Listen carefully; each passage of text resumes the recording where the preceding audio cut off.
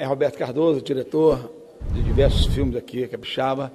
Estou aqui com Fábio Passos, que interpreta o personagem Bolsonaro. Lembrando que o personagem Bolsonaro é um personagem dele. Né? Ele ia fazer umas lives com o personagem. A gente somente é, emendou aí né, uma história com um personagem que já era dele. Um personagem de grande sucesso aí nas lives que ele fazia né, há um tempo. Eu acho que pretende voltar com essas lives de novo, dependendo do sucesso do filme. O filme vai ser sucesso. Fábio, fala para mim um pouquinho, que, que foi, é, como foi você fazer uma participação nesse filme, interpretando um personagem que já é seu, com o Bolsonaro?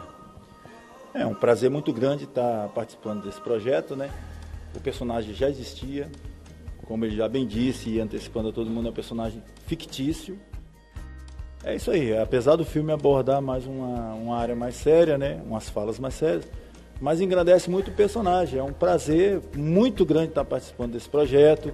Tenho certeza que vai acrescentar para mim e espero que faça muito sucesso também na área na qual ele é direcionado, entendeu? que o foco principal, como repito, é a segurança. Eu fico lisonjeado, repito também, e está fazendo parte desse trabalho sensacional.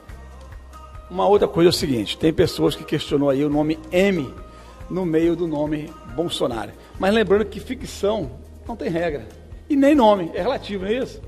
É isso, e todo, é, um ponto também que quero esclarecer, todo humorista, imitador que faz um personagem é, falando do presidente, imitando o presidente, ele põe seu nome autêntico.